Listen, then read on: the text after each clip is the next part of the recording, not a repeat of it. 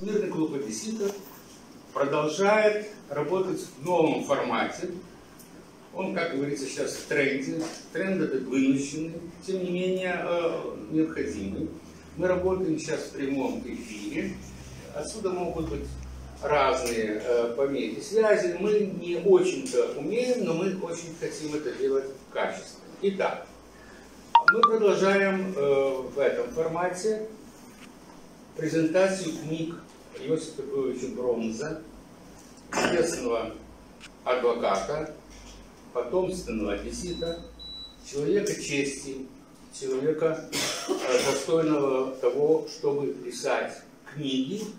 Вот уже вторая с нравственным императивом, ибо высокий профессионал, который может написать, я думаю, и написал, или напишет учебник, сейчас он пишет о нравственности. Нравственные устои, книга, посвященная великому юристу Кони, и «Распрямись, человече», новая книга, посвященная жизни Семена Львовича Ария. А, Иосиф Львович, мой первый вопрос вам вот каков. Конин, выдающийся деятель судебной системы, человек с мировым именем, человек, труды которого изучают и сегодня, а судебный деятель, писатель, общественный деятель и э, Ария, выдающийся юрист. Вот даже я должен прочесть слова Генрика э, Резника, человека достаточно э, светского, так, на первый взгляд, но очень профессионального и выигр, который выигрывает очень серьезные судебные схватки. Вот что он сказал о своем коллеге. Он единственный из современников заслужил, чтобы его называли великим адвокатом. И вот вы на книжной полке, когда мы отсюда уйдем, эти две книги будут стоять рядом. Я убежден, как многолетний редактор, и журналист, что когда мы уходим, вещи, книги, картины живут своей жизнью. Вот они стоят рядом, вот мы бы встретились. Почему именно за кони авиа?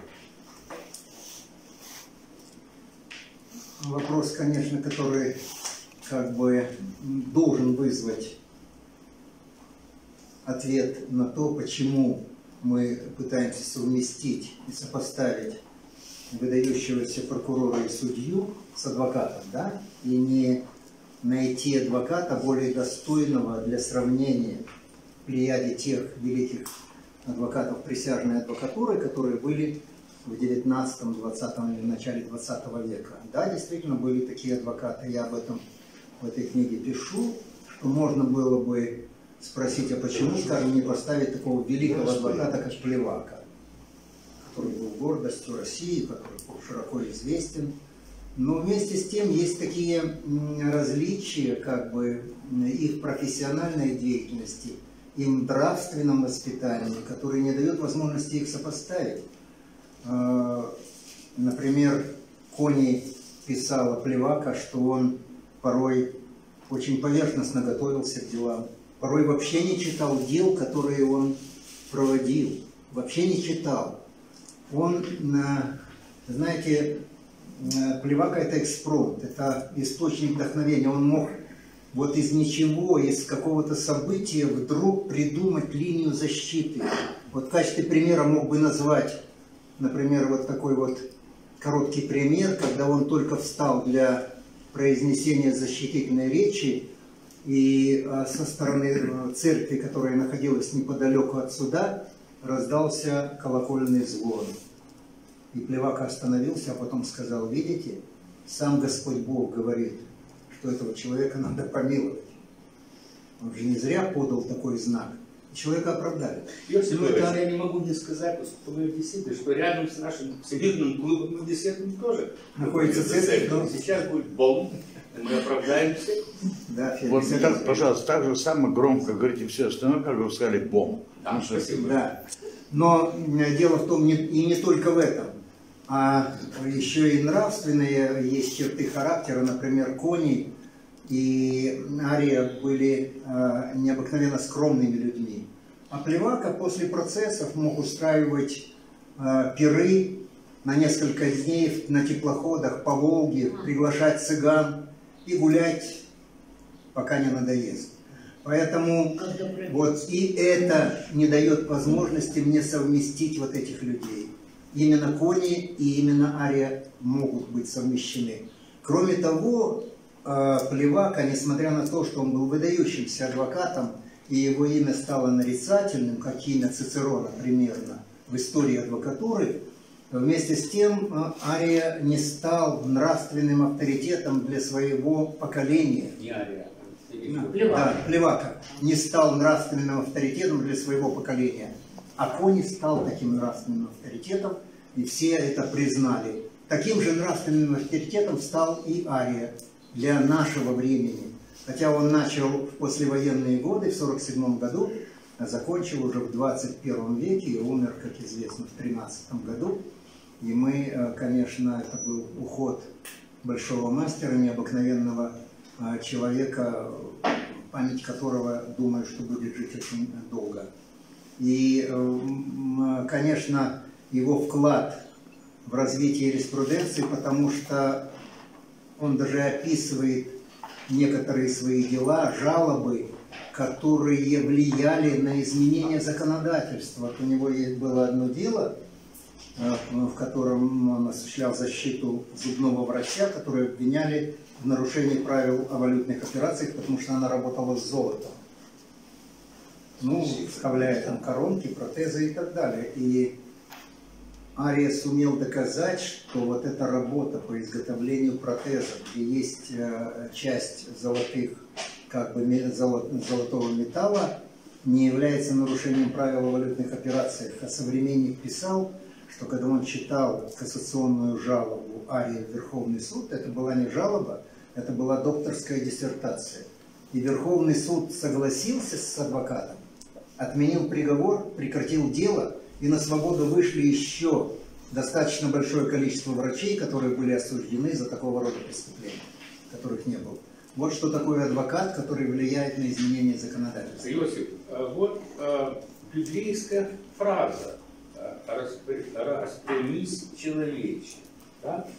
А, ну, честно говоря, надо иметь большой, большой уверенность и большой жизненный опыт и уверенность в том, что ты можешь так сказать, обращаясь к другим.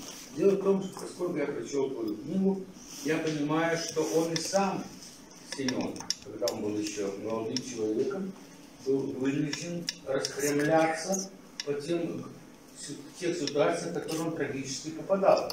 Чего стоит, например, его фронтовая биография, когда ты это лучше расскажешь, когда что, ну, он попадал в, в мало сказать, в тяжелые, он попадал в критические ситуации, когда был направлен в штрафной батальон, был на грани смерти.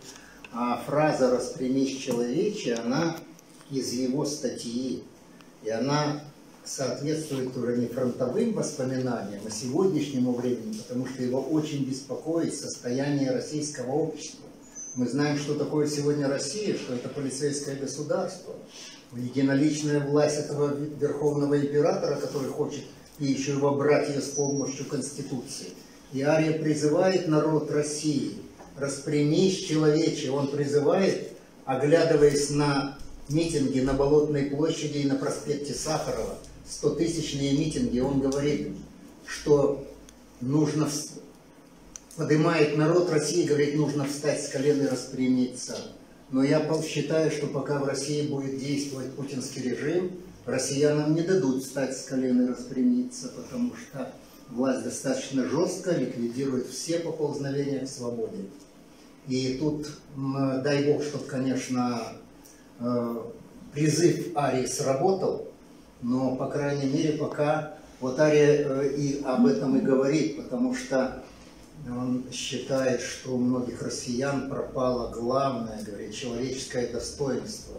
И в этом он ссылается на то достоинство, которым обладали многие представители в XIX веке. Кстати, в основном офицерство, люди чести, достоинства, слова, которые всегда и высказывали свое мнение, и были безупречно честны в своих поступках, и в своих отношениях и к власти, и к каждому живущему на этой земле, можно так сказать. Ария надеется на то, что Россия, как бы, как Пушкин говорит, воспрянет от сна, да? И на обломках самовластия. Ну, не знаю. Скажи, Иосиф, а разве не будет справедливым сказать, что все мы часть разорвавшегося материка Атлантиды Советского Союза, и та часть материка, которая относится к Украине, тоже не является примером Да мы еще сейчас до сих пор живем в право- правового государства, и что слова распрямить человечи могут быть обращены к нашинству. Дело не в этом. Я просто говорю, что мы до сих пор живем в совке, потому что выветрить из сознания нас, вот то, что мы приобрели за 70 лет, и вдруг стали совершенно свободными, невозможно. Хотя а, состояние свободы, свободы слова в Украине и в России совершенно несовместимо. Потому что в Ра- в Украине гораздо а, лучше обстоят дела. Но. Не надо а, уже даже и приводить примеры, все мы знаем, что могут люди свободно выражать свои мысли в отношении любого лица, вплоть до президента. А сейчас нашего президента не, леня- не ругает только ленивый, по-моему. Но мы с тобой, наверное, знаем, что некоторые э, правонарушители, то и преступники, они будут назвать без суда, абсолютно безнаказаны. И даже тот верховный король, который высказывал намерение наказать этот порог, этого не делает. То есть все мы, к сожалению, большому, я ведь не обеляю там Россию, все мы, к сожалению, подвержены вот этому правовому нигилизму. Там он проявляется в одном, у нас в другом. Но, наверное, Иосиф, как опытнейший адвокат, как человек, который, вот я думаю, современник этого Арии, Соратникова, понимаешь, что перед нами всеми стоят одни и те же задачи, чтобы торжествовал закон. Ну что делать? Обещать э, то, что, на то, что будут большие и, и мгновенные перемены, можно, э, можно легко, однако тяжело их, так сказать, выполнить, эти обещания. Сегодня мы видим, какие трудности возникают, потому что очень тяжело подобрать людей, которые будут соответствовать тем устремлениям, которые как бы несла, несет эта новая власть. Они хотят изменить что-то, но это очень сложно сделать. Где найти такое количество людей, которые будут как бы идти в едином русле, выполнять то, что нужно для того, чтобы торжествовал закон. К сожалению, в государстве закон работает, если не совсем не работает, то работает плохо. Формируются новые учреждения, различные судебные, следственные органы. Ну вот власть надеется, что с помощью вот этих структур что-то изменится. Однако, несмотря вот на эти такие э, примеры а, арестов, задержаний высокопоставленных лиц, с надеванием наручников там в, в кабинетах власти и так далее. Однако мы не видим никаких результатов, чтобы кто-то был осужден и чтобы люди понесли наказание за содеянное. Поэтому вот этот лозунг «делайте все, что угодно, и вам за это ничего не будет», пока он действует. Вот ты, извини, что я перебиваю, и среди нашей аудитории есть известный юрист, адвокат. Вот вчера вышел из э, тюрьмы, ну, из места заточения, некий э, бывший министр иностранных дел, который убил, застрелил за столик своего собеседника. И там принимала участие жена. Скажи, разве такие тяжкие преступления, когда э, были найдено оружие преступления, я не знаю мотивы, но сам факт убийства подтверждается. Почему к этим людям применяется норма а, залога? Вот я, честно говоря, как человеку, который э, привык читать э, античных классиков, юристов, того же Кони, того же Арию, представить себе, что убийца может быть выпущен под залог, или вот такой человек, как Стерненко, не, не уверен, что то есть суд, должен быть суд, но он до суда не должен находиться на свободе. Он убил человека. Может быть потом оправдан, ему, он может быть оправдан. Я не сомневаюсь, что такое может быть.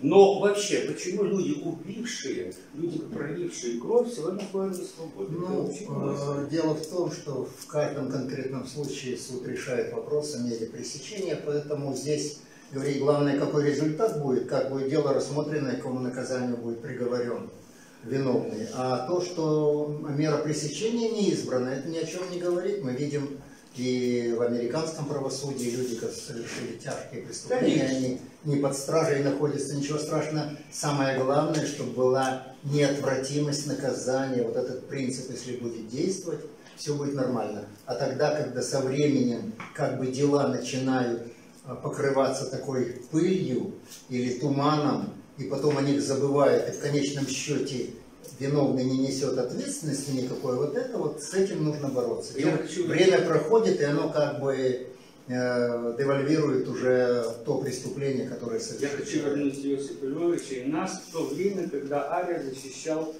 правозащитников, когда он защищал людей, ну, которых тогда называли диссидентами, тех людей, которые составляют совесть. Ну, нации это одно, совесть общества, ибо они жили в Советском Союзе. Вот я, например, знал э, Вячеслава Чернового. Горжусь тем, что несколько дней провел с ним в Одессе, показывал ему город. Он, мы беседовали с ним, он подарил мне даже свою книгу. Я уверен, что если бы Черновол не погиб, наверное, наша страна развивалась бы иначе. Вот роль Арии в защите и Калистратовой. Я бы хотел, чтобы ты рассказал об этом. Ты это знаешь лучше. Знаешь, э, история не имеет сослагательных наклонений, поэтому был бы Жорж Чернов, и что бы изменилось, сложно сказать. Однако, вот это движение диссидентов, которое началось после хрущевской оттепели, то оно приобрело такой массовый характер, что власть э, вынуждена была, ну, в своем понимании, применить самые жестокие меры. Они беспощадно расправлялись с этими людьми.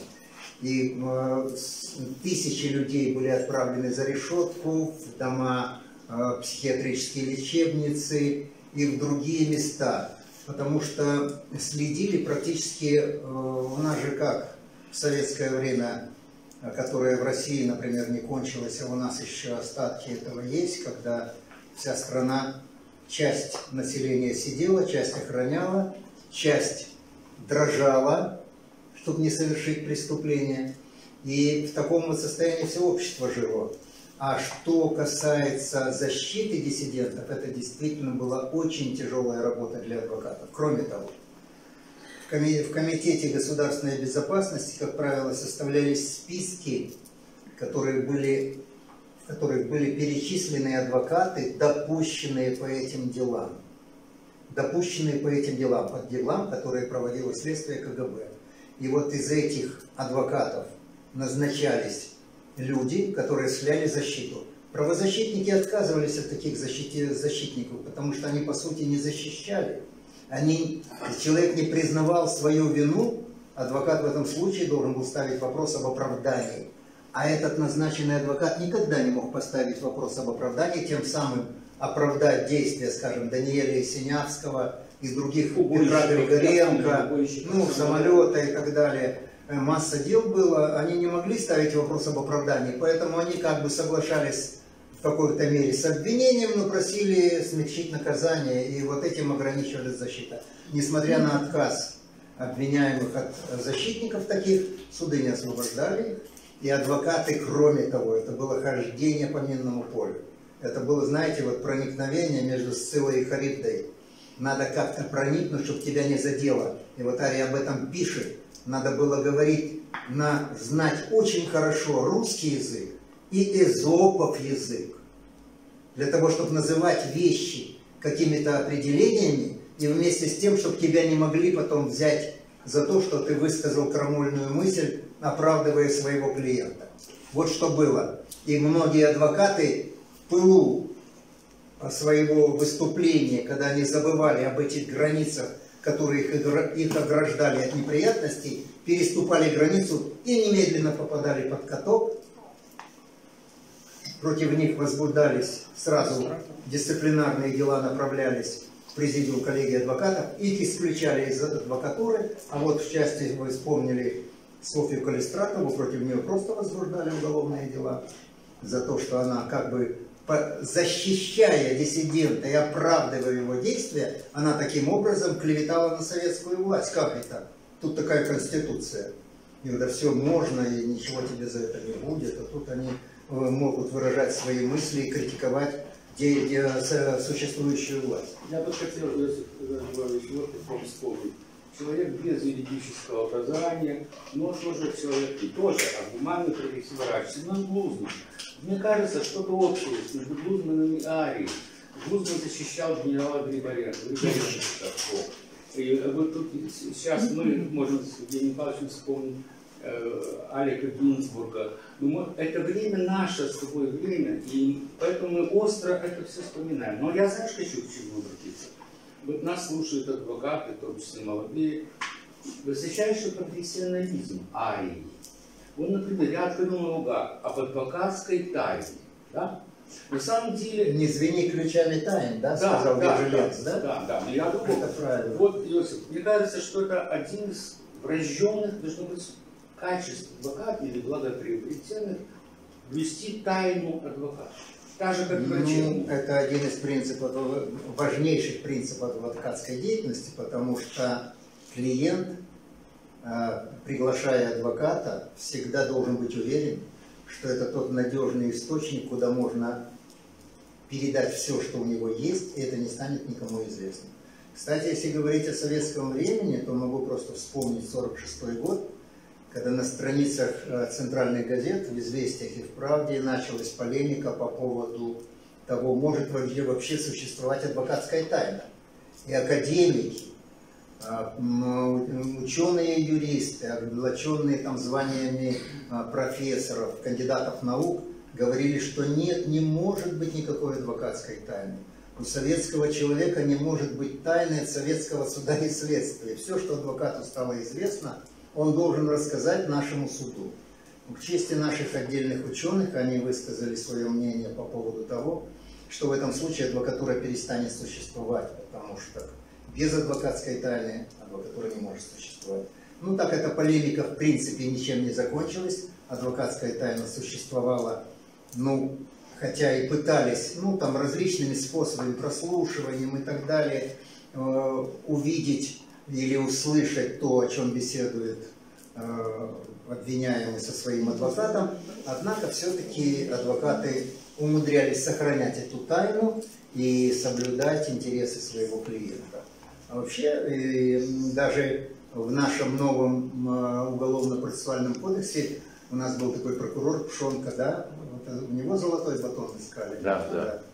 Ну вот они там издали уголовный процесс, который, в котором предусмотрено, что нельзя а, прослушивать беседу, но можно подсмотреть, смотреть за беседой. Ну, осталось только э, пригласить человека, который умеет читать по губам, и он передаст содержание этой беседы. Они, они дважды нарушили закон, потому что в предыдущем уголовном процессуальном кодексе этого положения не было. Мы знаем по Конституции, что нормы, существующие и сохраняющие права граждан, не могут быть ухудшены при принятии нового закона. Поэтому это было совершенно незаконное решение. И сейчас от него, кстати, избавиться в новом уже уголовном процессе. Ну, думаю, что принят будет в скором времени. Вот таким образом эти вопросы э, тайны – это очень важные вопросы. И без этого просто Еще не меня может быть было очень интересно практики. э, о том, как готовился к своим выступлениям Ария. То есть вот это, наверное, а- анти, антипод Пилата. Он Потому что мне был- кажется, что он был... Нет, нет, нет, нет. Это был энциклопедически образованный человек. Он читал такие произведения, только что там, э, если он изучал законы 12 таблиц, э, там законы царя Хамурафи, там э, э, Платона и других авторов греческих, он все использовал в своей деятельности. Ну, он э, каждому делу подходил исключительно добросовестно, изучал все, буквально не оставляя без внимания ни одного обстоятельства, которое могло послужить защите в деле э, э, выполнения вот того поручения, которое он принял. Вот Это- в книге э, у- вас есть обложка книги, э, которую Да. написал Ария «Жизнь адвоката». Насколько она известна нынешнему поколению? Ну, поколение наше, к сожалению, некоторые адвокаты, конечно, интересуются, а большая часть очень плохо знает историю адвокатуры и свою недавнюю историю, в том числе историю, которая, э, о которой мы говорим, это примерно 50-70 лет прошедшего времени. Ну и кроме того, надо хорошо знать присяжную адвокатуру. Это та адвокатура, из которой мы вышли, потому что она была принята в середине 19 века, а Украина была территорией российского государства, и на нас распространялось это законодательство. Кстати, совершенно новое законодательство, и дай бог нам было бы иметь это законодательство и вот эту судебную реформу сегодня,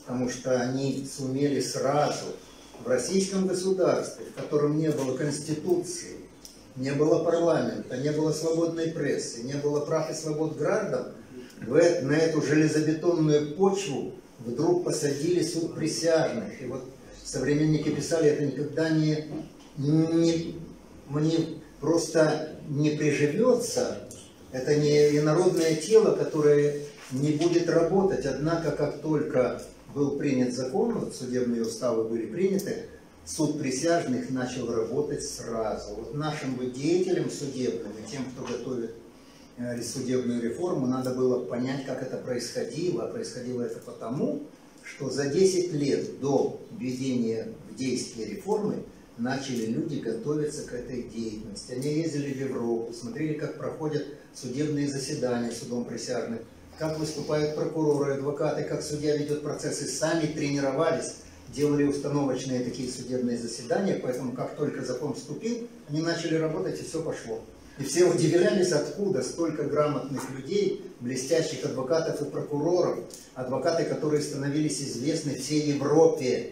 Адвокат Александров, который защищал Веру Засулич, его речь перепечатали многие газеты европейских стран насколько блестящая была речь.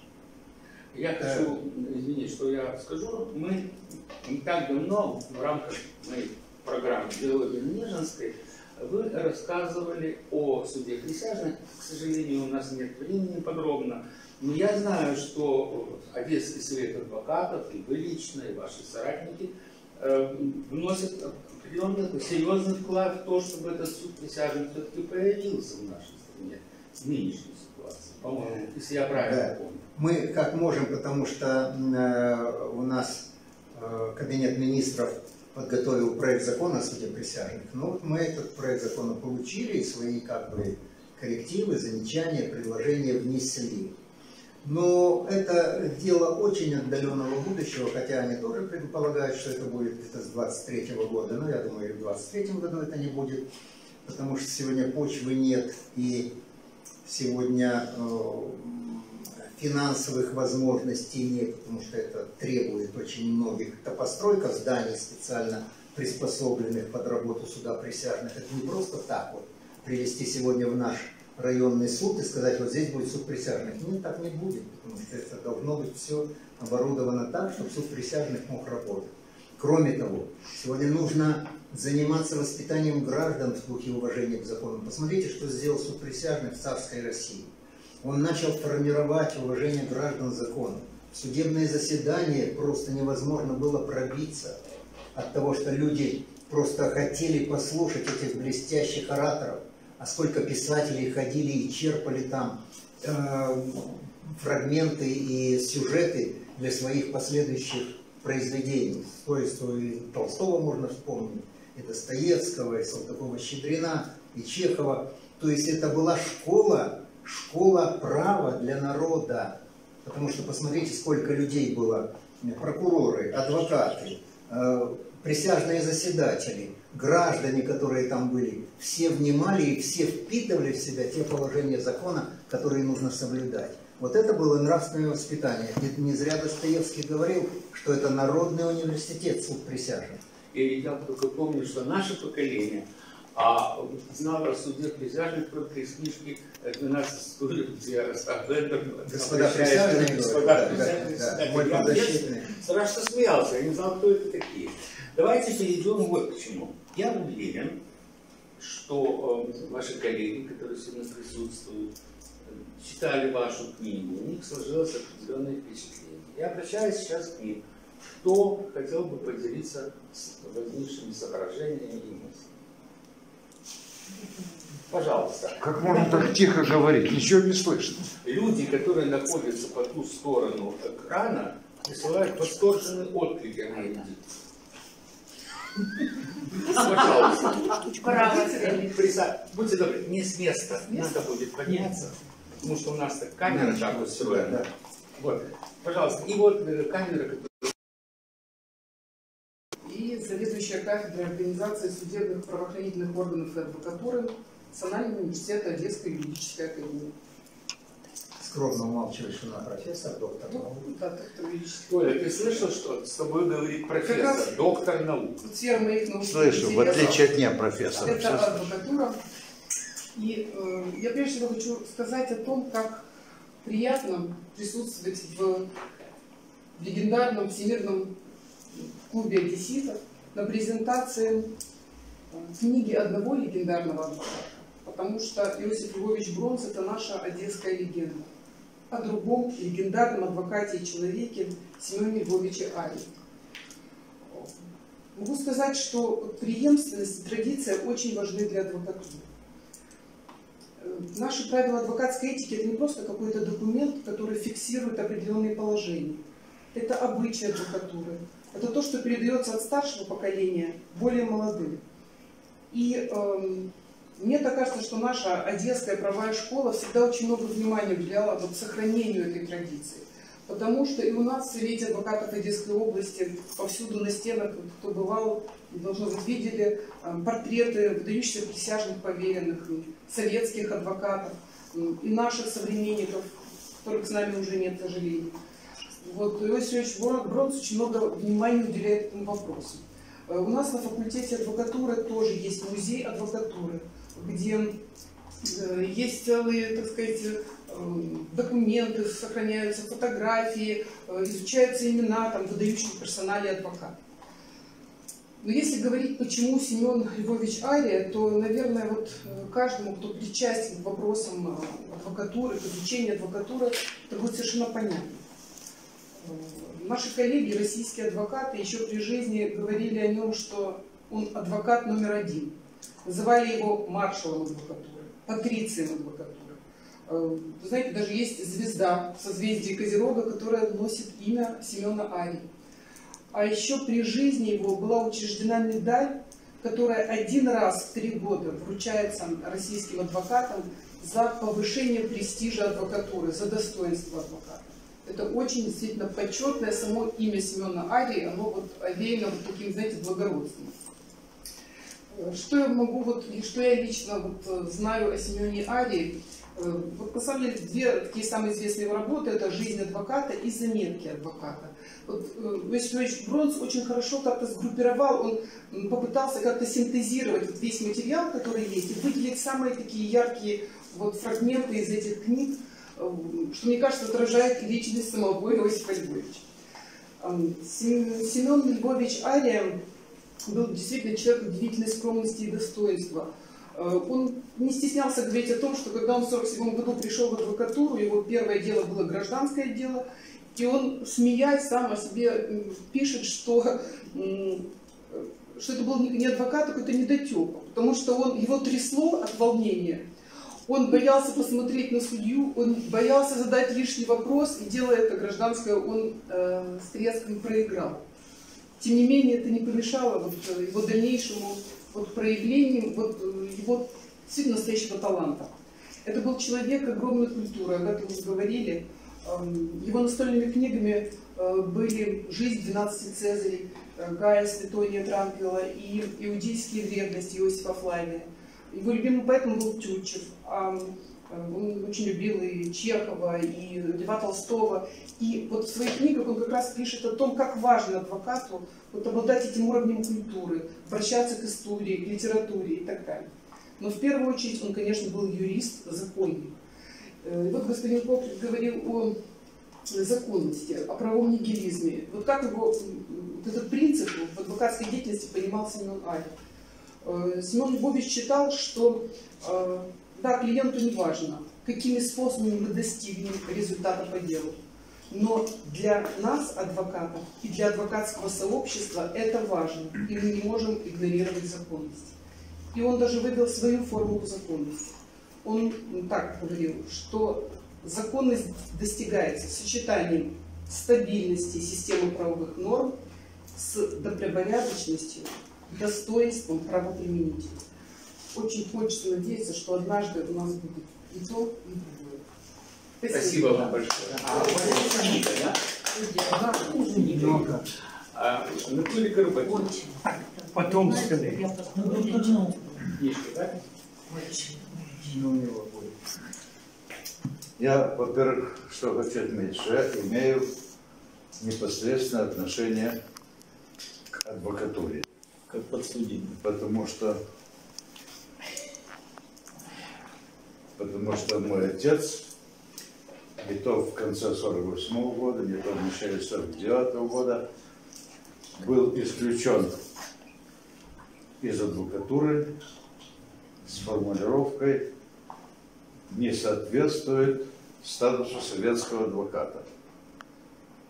За нехороший какой-то анекдот рассказанный о ком-то. И был восстановлен только в середине 53 года и, собственно, закончил рано, ушел из жизни на должности э, заведующего юридической консультацией облсовпрофа. Вот я хотел сначала хочу, вот хотел задать вопрос, а потом произвести небольшую речь. Но я понимаю, что если я задам вопрос, сначала мне уже речь не дадут сказать. Поэтому я Почему дадут, Анатолий? Я вам не верю. Я начну непосредственно с речи. Вот сегодняшнего виновника торжества я знаю очень-очень давно. Подвергать его сейчас, подвергать критике, дело совершенно бессмысленное, потому что он привел такую мощную группу поддержки профессора, доктора юридических наук, заслуженного юриста и так далее, и так далее. Здесь все люди, он, если не купленные, то, в крайней мере, имеющие непосредственное отношение к нему, поэтому я буду говорить о нем не как об адвокате, а как просто о человеке, об одессите. Когда я в Лос-Анджелесе заикнулся о том, что я вот дружу с Озиком Бронзом, известный в прошлом в Одессе инженер и футболист, который, к сожалению, рано ушел из жизни, Борис Кожубродский, тут же снял с полки самый дорогой свой э, спортивный трофей, кубок там, чемпиона Лос-Анджелеса, что где он играл. Сказал, передай, пожалуйста, это Осику. И я честно привез, привез. То есть я стараюсь к нему хорошо относиться. Он заслуживает, он хороший человек. А теперь вопрос. Вот где-то год назад наш молодой президент обозвал одного из э, глав администрации разбийником. И тогда тогда прозвучало, ну, пацан пришел к власти, ну, но недавно он опять назвал разбийником мэра города, по-моему, Черкас. Было дело. Я хотел бы узнать, может ли человек даже, который был без- безусловным лидером группы «Квартал 95», чей юмор, я, честно говоря, не признаю, но как-то для меня вот этот криворожский юмор как-то не для меня. Я про другого. Не дорос. Не дорос. Ты не дорос. Я перерос. Я шучу. Еще не хватало, чтобы серьезно сказал. Что? Так вот, даже лидер такой мощной группы, имеет ли он право без всякого повода основательного, я имею в виду решения суда, назвать человека разбийником?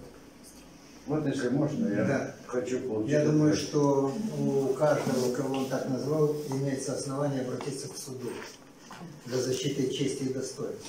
Пока нет приговора, человек является невиновным, хотя могут подозревать его, э, говорить о нем все, что угодно, но обзывать его так, и это, конечно, президента не красит в любом случае. Во-первых, президент должен обладать неимоверной выдержкой, чтобы не идти на провокации, не отвлекаться на те выпады, которые делаются в его отношении, а просто то, что творится, вы, ну что вам рассказывать, все вы смотрите. Поэтому просто видно команда, которая ра- должна работать с президентом, этих имиджмейкеров, которые его должны настраивать, готовить э, ко всему, начиная от одежды, кончая с речами и кончая ответами на вопросы, которые они должны предвосхищать. Все должно быть сделано таким образом, что президент не попал в просак. Ну, это уже, так сказать, сегодня говорят, вот уже я вчера слушал какую-то передачу, вот вы уже почти год у власти, вы уже приобрели какой-то политический багаж. Вы уже чему-то научились. Он говорит, да. Уже что-то есть. Поэтому будем надеяться, Фелик, Да. э, Анатолий, что э, он э, К концу в общем-то, каденции. Нет, к концу каденции это будет поздно уже. Думаю, что он раньше, конечно, будет проявлять выдержку, хотя люди своим поведением заслуживают и как бы провоцируют его на такого рода откровения, но президент не имеет права этого делать. Спасибо за вопрос. Э, Позвольте Да, задать да, вопрос. Конечно, пожалуйста. Э, Потому что вас будут показывать. Вы Ну, недооцениваете. можно с места. Нет. Не-не-не, проявись, проявись. А, да. Представьтесь. Давайте я вас представлю. Представьтесь, вы кто? Григорий Барат. Э, Григорьевич, а перейдя к сегодняшним реалиям, мы знаем прекрасно, что корпус, адвокатский корпус делится на две большие половины. А Одна из них – добросовестные адвокаты, знающие законодательство, пользующиеся им в судебных процессах, а вторая – это решалы и давалы. Да, те, которые несут взятки, которые решают судьями все вопросы. И вот представим себе, а, что первичный суд принимает противоправное решение, нарушив все материальное, процессуальное право, и адвокат принимает в этом участие. Вот, да? сейчас испортит праздник. Подожди, вопрос. А апелляционный суд отменяет это решение, и кассационный тоже. Какую ответственность несет как судья, так и адвокат, который подтолкнул на это противоправное решение? А таких решений тьма. Спасибо. Друзья мои, я прошу, если хотят получить бесплатные юридические советы, обращайтесь, пожалуйста, Ну, да. Давайте, давайте мы действительно по-серьезному вопрос серьезный. И сегодня речь же идет так называемой коррупции. Коррупции вот не было, в советское время не было коррупции. Были взятки, были взятки. Все называли вещи своими именами. Сегодня в нашем уголовном кодексе я вдруг как-то пропустил новое, новую редакцию уголовного кодекса и стал похож на географа из э, Ильфа и Петрова, который сошел с ума, когда не увидел Берингового пролива. Помните? Эти головотяпы сместили две карты на не, одну на другую, и Берингов пролив исчез. И точно я вдруг вижу, где же взятки? Нет взяток. Наша, наша Верховная Рада ликвидировала вопрос о взяточничестве, написали. Неосновательное обогащение, незаконное предложение. И, в общем, а потом все это назвали коррупцией. И э, теперь определяют органы и меры борьбы с коррупцией. Чем больше органов и мер борьбы с коррупцией, тем больше процветает в государстве коррупция. И вот от того, что ну вот от количества этих органов, которые своим числом, расход, материальными расходами на их содержание совершенно не нужны государству. Они существуют, однако не влияют на эту ситуацию. Я тут не соглашусь с нашим директором по поводу того, что вот половина адвокатов, так сказать, честные, а половина э, несут взятки и передают. Он сам, наверное, коррупционер. Одно я, одно я, подожди, одно я могу сказать. У вас есть конкретные э, лица? Конечно, Есть конкретные конечно, Иосиф Иванович. Между прочим, вы одно из этих лиц э, там чуть ли не выгнали из э, Друзья мои, у нас остается Э, до а, пребывания... Не просто так. Можно, можно уж я как воспользуюсь правом? А, конечно. Да. Значит, тут огульно всех обменять нельзя. Я считаю, что это совершенно недопустимо. Адвокат при любом положении не должен э, нарушать закон. Иногда адвокатов, конечно, заносят, иногда адвокаты не могут четко определить позицию, законность своей правовой позиции для того, чтобы, не нарушая закон, предоставить клиенту надлежащую правовую помощь. Вот это может быть, э, так сказать, бывает в адвокатской практике, когда ну, защищается как бы незаконный интерес. То, что когда-то в 18 веке осуждалось, а потом сказали правильно, потому что адвокат в любом случае, хоть и незаконный интерес у клиента, пусть адвокат попробует доказать, что это законный интерес. В отношении взяточничества тут надо не видеть весь, так сказать, грех деятельности адвокатуры, а видеть грех в деятельности судебной власти. Потому что судебные, судебные и следственные органы должны работать только по закону.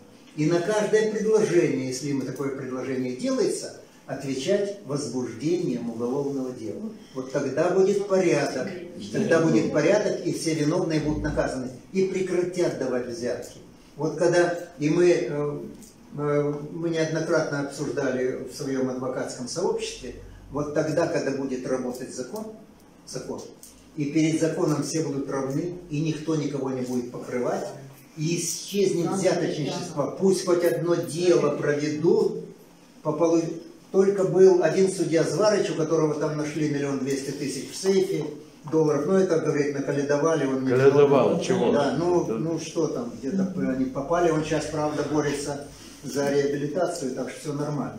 Вот, поэтому здесь должен начать работать закон. Закон равный для всех.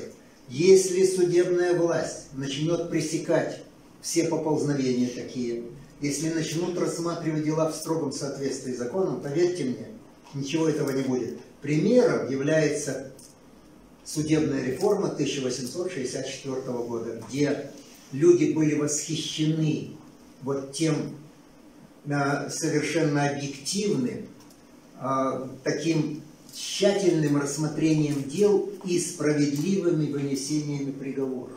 Понимаете? Люди восхищались этим. И вот дай Бог нам дойти до этого состояния. Вот когда вы говорите, давайте вперед, нет, не надо нам вперед. Давайте вернемся назад и воспримем все лучшее, что было у них. Это, кстати, И все-таки, друзья мои, друзья мои, а, мы э, вынуждены уже завершить нашу передачу. Розбійник. пребывания- Друзья мои, время пребывания в облаке интернета не бесконечно. А, Мы благодарим Иосифа Львовича. Я только скажу два слова. Для меня а, знаковым является два, таких, два императива. Это потрясающий по своему ужасу фильм «Адвокат дьявола» с Аль. Это а, низ вашей профессии. И второй – это защитники небесные, ангелы, которые защищают нас миру своих возможностей и сил. Вот где-то посередине желаю оставаться вам и нам, которым рано или поздно придется к вам обращаться. С нами сегодня был Иосиф Брод. Всего самого.